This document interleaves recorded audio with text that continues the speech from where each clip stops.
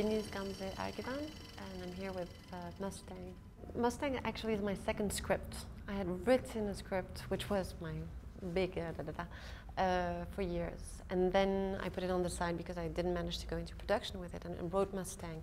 But Mustang also had its own, uh, you know, a, a, film before coming to life has it's bit like tectonic movements, and so for a few years my curiosity was trying to zoom into a specific subject and then it went quite fast.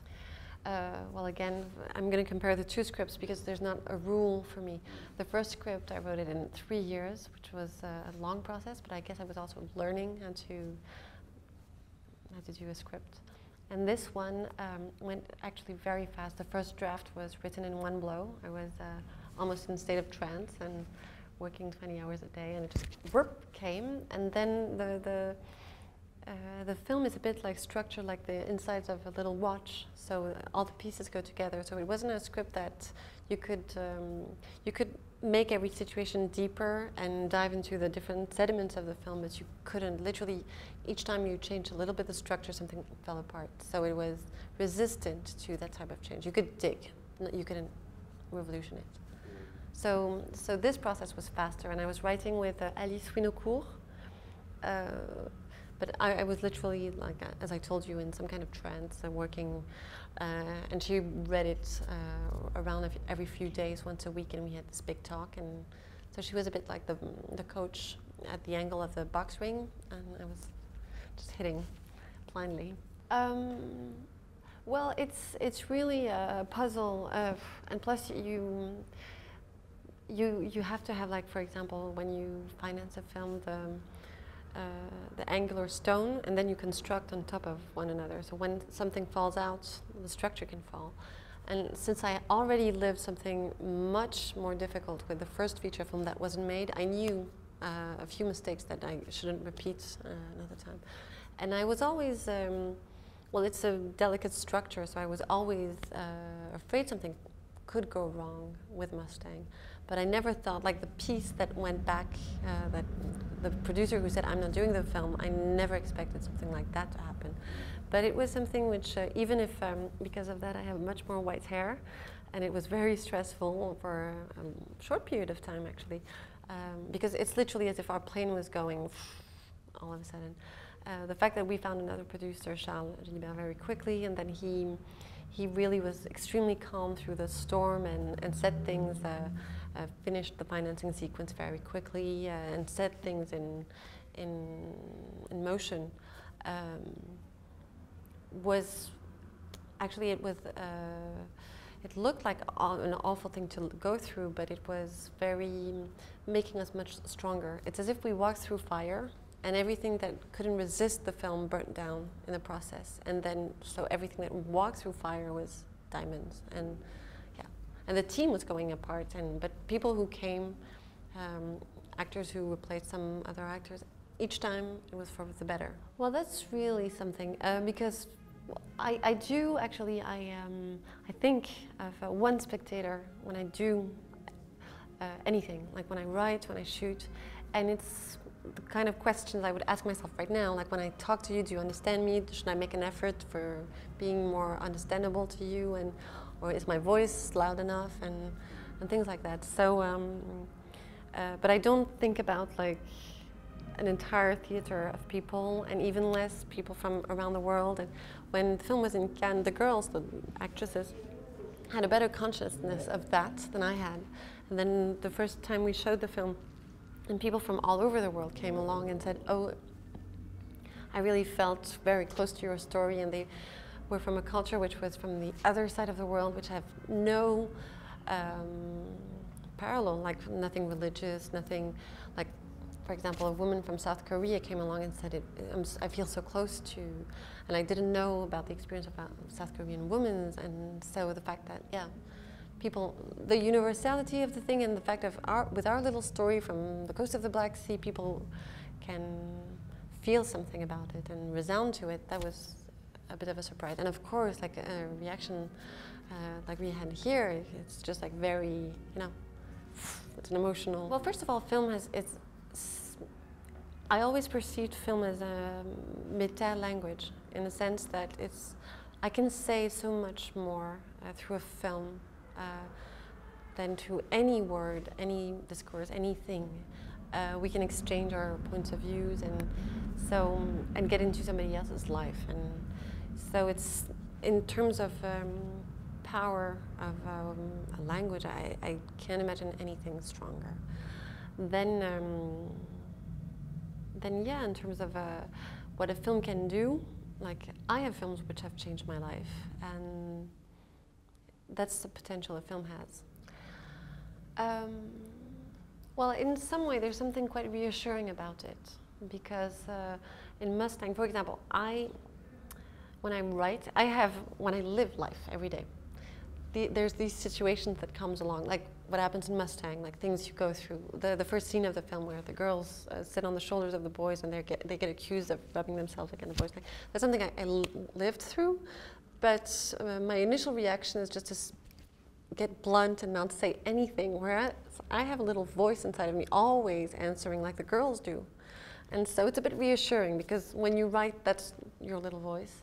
And saying that when you just uh, use that little voice in the story, well, it's audible. It goes through people because once you do a movie, before you show it, you really feel a bit miserable. You feel like it's a first feature film, it's in Turkish, we're going to show this in France, for example, where, where it was shown for the first time, I was thinking I'm probably going to need to beg people to go and see it. You know, you, you really think all odds are against a film like this one. And then uh, all of a sudden you say, well, it's articulate. It's, for example, now when I'm talking to you, I'm thinking maybe you're, you're not understanding my accent or things like that. So it's a bit worrying. And But then with the film, I'm thinking, oh, all of a sudden, well, no, people understand it. And not only they understand what's said, but it also goes through uh, and becomes emotional. And so it's reassuring in some way. There's, of course, well, when the film just starts to live its own life, there, there's more, uh, well, there's things you can't do anything about. For example, I'm a bit disturbed when people uh, say things like, oh, Turkey, what an awful place to be for a woman. I'm so happy to not to be inside. Whereas I always wanted to make a film where women are never victimized and they're very strong and heroic and yeah, I, I, don't want anybody to feel pity for them ever. So that reaction is a bit something that takes me off beat, let's say. And then, of course, um, uh, yeah, I, I, receive mails where people do whatever they want with the film. most of the time, where it's not like completely uh, offsite. First of all, I have a grandmother from, from here. Then uh, we came here in 2004 uh, by car twice. And it was a moment where, um, well, there was a lot of things, uh, images of Sarajevo, which were still uh, emerging. Uh, so I was very curious of, of, the city and seeing it finally with my own eyes. And, and uh, it was very moving at that time. And I knew about the festival. We were here actually in August as well, but not the. Um, so yeah, it, it has a, an importance and an impact. And in France, I was asked uh, uh, if I felt something generational with uh, um, with a few specific French filmmakers who are my age and from my film school, and I never thought about it, but I, I didn't feel it when the question was asked. I didn't feel some kind of uh, word generation coming out there. But when I look at the selection of this festival, there's uh, filmmakers. I feel, um, yeah, like there's uh, filmmakers from this region who do have uh, links with other places and uh, who have inside of them, as Sarajevo, uh, Western Europe, uh, Eastern Europe, Turkey. So I feel the cultural mix in the list of filmmakers in the selection and which is part of the DNA of the city is probably something I would feel close to. The one thing I have the impression my, my family gave me was keys to go wherever we wanted in the world and um, and languages. And there was really a focus on knowing how to speak a few languages. And um, so that was something for me which was always, uh, and I was very, uh, uh, I had a lot of recognition towards them for doing that. So, for example, I had a scholarship to go to South Africa. My first trip took place in uh, South Central Los Angeles. There was something about, okay, the world is, there's a story here that resonates very strongly with me. I will do whatever I can to go and see and do something, a, a film. Or, uh, that's what happened with the projects before Mustang. And then, um, about what it does towards my relation to Turkey, not being in Turkey all the time. I guess there's something which is um, for example, specifically Mustang is about being a woman in Turkey. And so since I have the experience of not being a woman uh, only in Turkey, but in France, there's something which is like, uh, I can say that it's very different. And there's a specific filter uh, in the way society looks at women. And, and, there's a specific spot for women in Turkey that is not the same uh, in other places. So it helps me to finger something. And I'm sure that it helped me structure the point of view, which is Mustang. And I guess that uh, for, for, for women who have stayed all their life in Turkey, there's something which is so familiar, which is so much in the background. so Mustang in some way might articulate a point of view where they can say like, you know that thing which is behind me, well, it, which is like a bit uh, hurting my back, well, it's not that normal or, you know, like this is what it is. And so it, yeah, probably this uh, fact of being between so many countries helps me to finger that. Mm. But I don't feel, quite the contrary. I, for example, I don't feel uh, places belong to me. Like there was this uh, sentence of Romain Gary who said he didn't consider, he didn't have this um, relation of a proprietor to the places. For, and for example, I'm not French. I've been living so long years in France and I'm still not French.